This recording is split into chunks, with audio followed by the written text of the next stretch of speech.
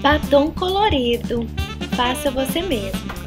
Para esse projetinho, nós vamos precisar de giz de cera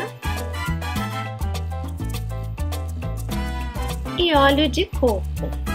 Se você não tiver o óleo de coco, pode ser um azeite ou vaselina, algo que hidrate seus lábios. Também nós vamos precisar de alguns potinhos para armazenar o nosso batom.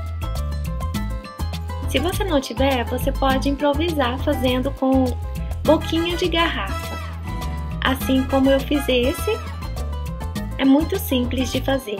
Mas se vocês quiserem, eu posso fazer um vídeo mostrando como fazer uma, um potinho de boca de garrafa.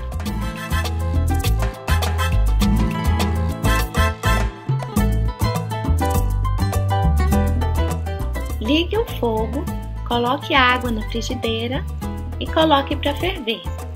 Coloque um potinho resistente ao fogo dentro da frigideira. Vamos colocar o nosso óleo de coco ou azeite de oliva ou mesmo vaselina. Agora nós vamos colocar os pedacinhos de giz de cera, lembrando que ele não é tóxico e pode ser muito bem utilizado para esse fim porque ele não é alérgico também. E vamos fazer isso com todas as cores que a gente querer.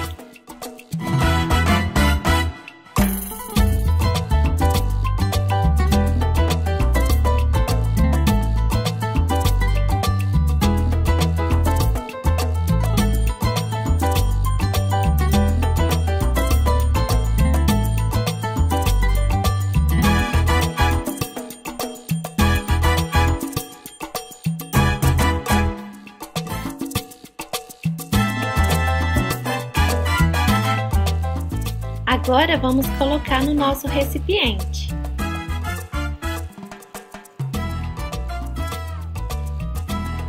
Fiz vermelho, laranja, fiz azul. E lembre que se você colocar muito óleo, a cor não vai fixar tão bem, mas se você não colocar também, ele vai ficar muito seco. Então você tem que moderar. Aí estão as minhas cores.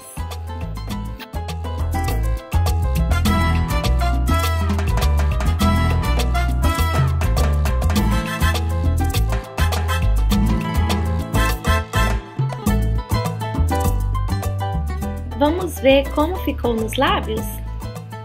O azul ficou bem pigmentado